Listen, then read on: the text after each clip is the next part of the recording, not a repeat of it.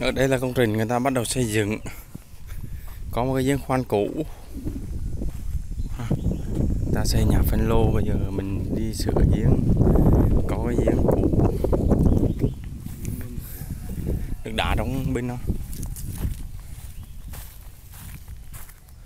Đây là cát. Người ta đã đốt cái khu này ha. Dọn dẹp đốt hết. Thì vô tình nó lại cháy luôn cả cái, giếng.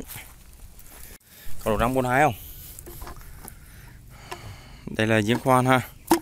Hiện tại giếng mình xài bình thường nhưng mà do người ta đốt. Cho nên nó cháy, nó móp hết ống luôn. Bây giờ mình sẽ xử lý lại, mình sẽ gắn ờ, máy mới. Máy người rửa inox ha. Và ống. Cắt đường.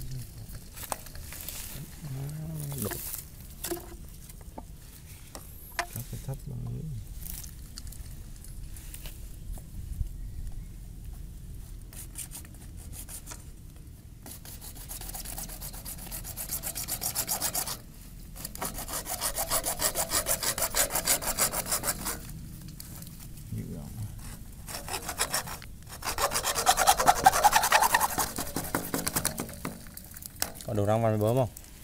Thôi đó. Nó sợ bên thái vậy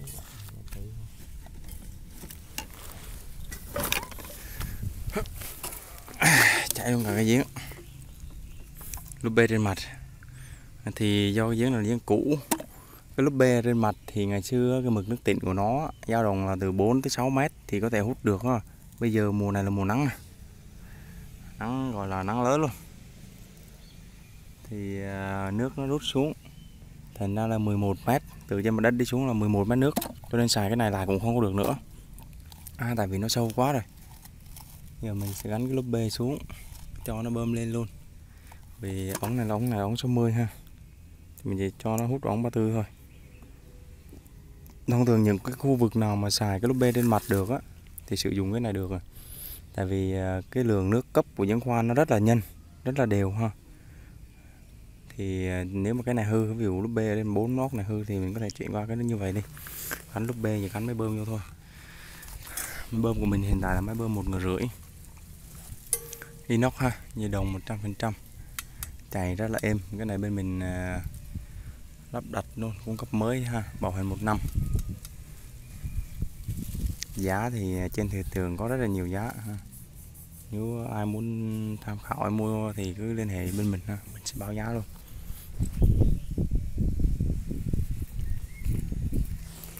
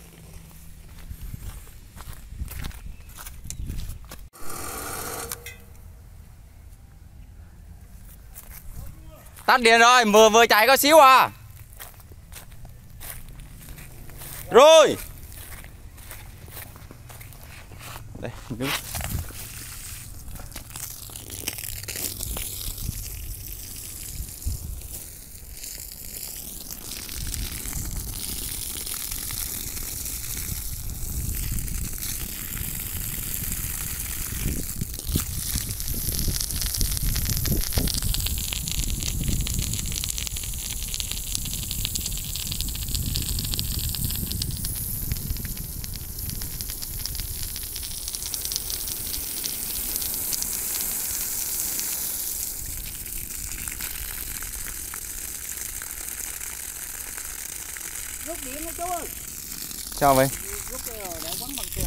à, cho bơm từ nước đi từ từ đang lấy băng keo quấn nè.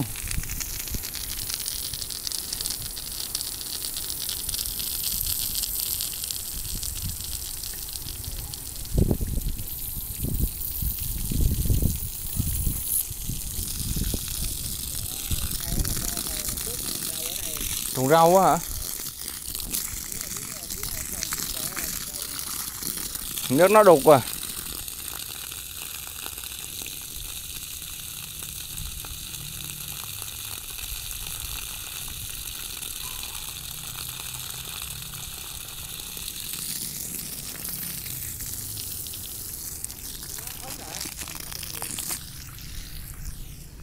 được rồi.